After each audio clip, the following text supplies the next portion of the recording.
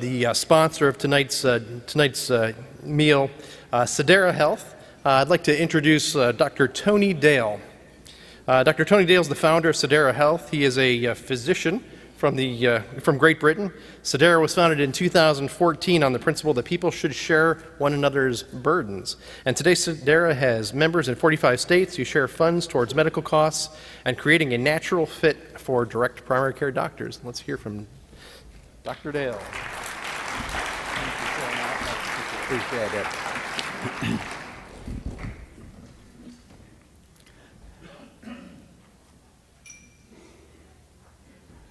Make sure that uh, I know how the technology works.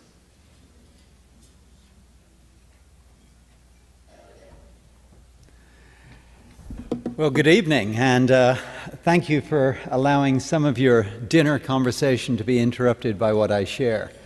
Uh, as Lee said, I'm actually a, a British family doctor, uh, and so uh, my perspective uh, is perhaps a little different from most of yours.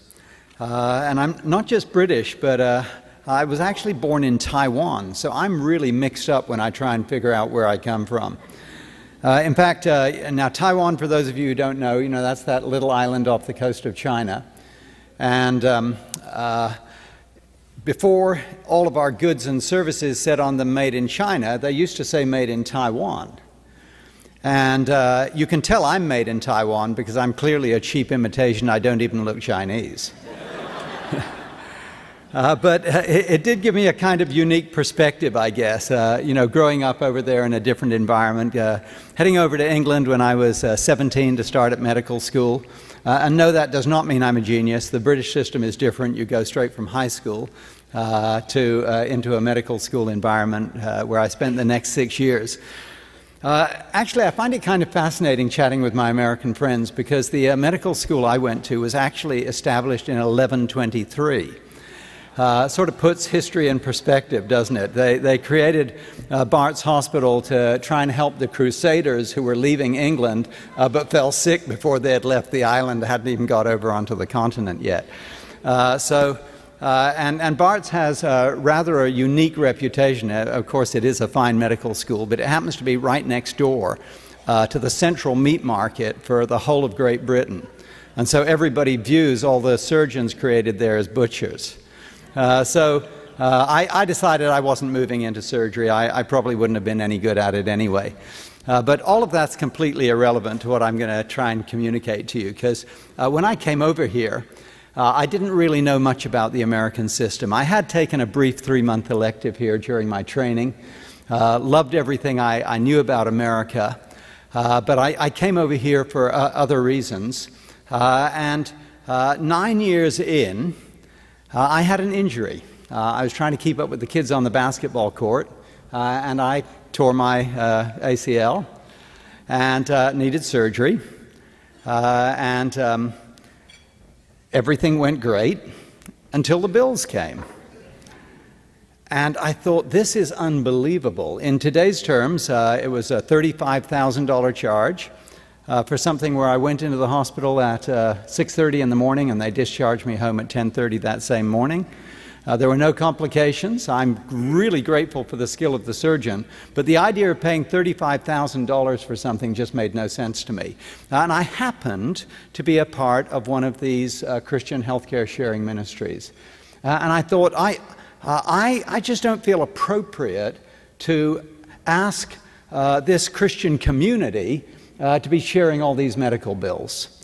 Uh, it's, it's, it's just outrageous. And so uh, I challenged the bills. And something happened there that really sort of has shaped the rest of this story because, to my amazement, everybody just folded. I mean, literally, I called the hospital and I said, You know, I think these charges are outrageous. And uh, they said, Well, what do you think uh, would be appropriate? And I said, Well, and I thought, how does this work? I, I called the surgeon. Uh, and and I, I, I, said to the surgeon, I, I, said, I deeply appreciate all you've done. You know, uh, but, and I don't think you deliberately misled me when you told me it was going to cost $2,000. But I'm sorry I was so ignorant, but I didn't realize that that 2000 was all for you and that everybody else was going to charge me all these other bills. That's how ignorant I was of the system over here. I wasn't in clinical medicine. I'd moved uh, sideways into some academic areas. Uh, and so I didn't know, as everybody literally folded when I challenged the bills, uh, whether they were giving me some sort of professional courtesy uh, or uh, was the system really that messed up? Well, it didn't take long to figure out that actually the system was even more messed up than I realized. Uh, and I must say, to you know, uh, having just listened to that incredible story of what uh, is happening here in the sort of Rosen group of hotels, uh, the only thing I'd say to you is don't even think of settling for only a 10% gain in your first year with all the hospitals.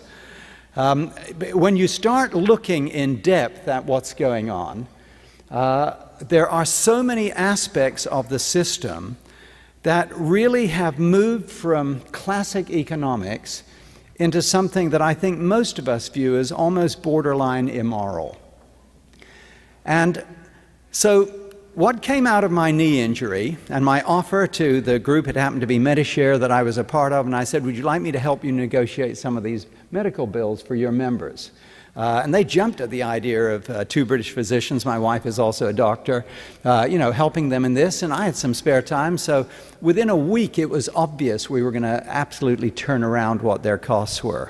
Uh, and out of that, over the next 15, actually at this stage, 22 years, uh, we, we, developed a company that has helped uh, all of the large Christian healthcare sharing groups uh, negotiate their bills, but we've also worked with um, uh, with Cigna and Aetna and AIG and American Fidelity and others who had all sorts of uh, medical involvement back in those days before the ACA. Uh, and, and so we found ourselves negotiating billions of dollars of bills, uh, saving enormous sums of money for people, and realizing that there was something fundamentally amiss. And then the Affordable Care Act comes in. And that just uh, I, I guess having come from a single payer system, and I saw where the ACA was inevitably taking us as a country, and I realized that we were living in this sort of Orwellian period where you call an act the Affordable Care Act, but which is highly unlikely to make anything more affordable. Uh, and sure enough, uh, we've all lived with the consequences. And so inside, I began thinking there has to be a solution to this. Because having uh, navigated literally hundreds of thousands of people through the healthcare world, having worked in both the insurance and the sort of healthcare sharing space, uh, I found that I actually had a very strong bias uh, to the benefits of the healthcare sharing space, uh, even though the job was not being done perfectly. Uh, they were doing a good enough job that we found we had far less complaints uh, from all the families we tried to help who were involved in the, the healthcare sharing approach than we did from families that were involved with the insurance companies that we were also representing and helping. And so I began to think what is it going to take to take a methodology that is working very well but has now been sidelined by the Affordable Care Act uh, to a place where they had said no new groups could form. Uh, because a group, uh, according to the ACA, had to have been in existence in 2000 and, uh, sorry, in the year 1999 uh, for it to be legitimate to now be exempted under the law. Uh, but not only had they stopped new groups forming, they said it was only available to people who could sign the faith statement of the existing ministries. Now, I may be a Christian myself, but to me there was something, you know, offensive of the idea that the government would say that a great methodology that was out there working was only available to people of faith and not available to everybody. Uh, and so that's where, that's really where the ideas for Sedera began. And uh, thank you very much. Uh, and you have on your, uh, on your table a little leaflet like this uh, which you're welcome to pick up and you're welcome to, to, to look at as we sort of talk about this. But uh, our tagline of We're Good Together uh, has a number of meanings. Uh, because one of the first things I had learned from the Christian healthcare sharing ministries was there is tremendous power in community. Uh, but that's really only a starting point. There's actually extraordinary power when you begin to bring together uh, what is represented in the DPC world uh, and what is represented, uh, excuse me, uh, in, in the world of sharing or medical cost sharing, as we call it. Uh, and so I want to try and briefly explain that to you. The first is we think it's vital that the consumer have skin in the game. Uh, this is one of our sort of core values, uh, which we describe our system as being consumer driven. Uh, the consumer needs to be engaged. If we don't deal with the issue of personal responsibility, we're never going to bring down the cost, particularly in the realm of chronic health. Uh, as you look at the overall cost of healthcare, something like 60 to 70 percent, depending on you know, what figures you believe, are, are tied up with chronic lifestyle diseases. And you cannot just tackle the economic side of this. Uh, you actually have to uh, begin dealing with the issues of behavior uh, and whether or not people are going to take responsibility for things as simple as what they put in their mouth, from a cigarette to the food that we eat, uh, and what sort of lifestyle they live and how they handle stress. And so we view individual uh, ownership of their health care as a vital component of what goes on. Okay, but right tied in with that is that the access to the doctor uh, patient relationship is critical to the overall cost of health care. I loved again what Rosen have just taught us uh, from their experience uh, in their hotels and with their staff. Uh, of the dramatic changes they've made in healthcare when the doctor and the patient are brought directly together again. Uh, and so, you know, understanding these things is what uh, helps us see the, what happens, rather like our little leaflet says. Uh, you know, when you think of peanut butter, you think of jelly. Okay? Uh, when, when I think of uh, what we're doing in medical cost sharing, I think of DPC. Uh, and so when you then add that to the power of the sharing community, uh, and you, you take out all of the various layers of middle cost, and into its place, uh, you provide a community of people who voluntarily choose to share each other's medical bills.